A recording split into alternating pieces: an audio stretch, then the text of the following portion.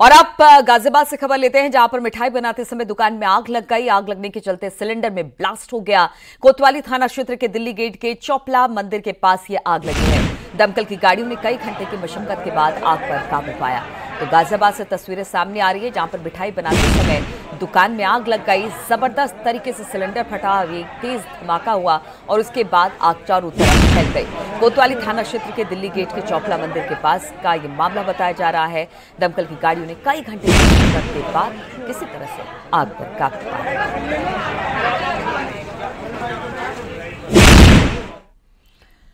Greater Noida waste में Panchsheel green एक society के पास एक कंपनी के वेयर हाउस में आग लग गई। इस घटना से वेयर हाउस में रखा लाखों रुपए का सामान जलकर खाक हो गया। आग लगने की वजह का अब तक पता नहीं चल पाया है। एहतियात के तौर पर आसपास की कंपनियों को भी खाली करा दिया गया है और सभी को सुरक्षित बाहर निकाला गया। दमकल की गाड़ियों ने काफ़ी मशक्कत के बाद आग पर काबू पाया। मौके पर स्थानीय पुलिस भी मौजूद रही। बिसरक थाना क्षेत्र की यह घटना बताई जा रही है।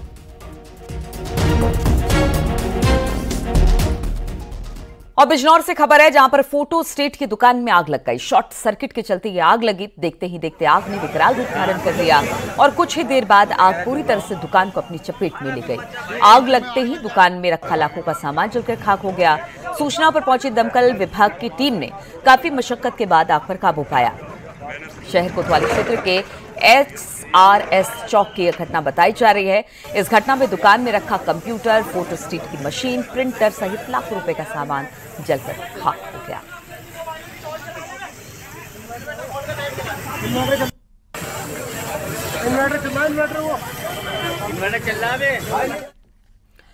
और कैसगंज में एक बार फिर से रफ्तार का कहर देखने को मिला, जहाँ पर ऑटो बचाने के चक्कर में एक कार पेड़ से जा टकराई। कार सवार एक लड़के की मौके पर मौत हो गई, जबकि दो लोग गंभीर रूप से घायल हो गए। हादसा इतना भीषण था कि तेज आवाज़ के साथ कार के पर खच्चे उड़ गए। घायलों को जिला अस्पताल में एडमिट करा दिया गया। हादसा थाना सहावर क्षेत्र के कासगंज रोड पर है। हादसे के दौरान तीनों लोग सहावर के रहने वाले बताए जा रहे हैं। जो अलीगढ़ जा रहे हैं।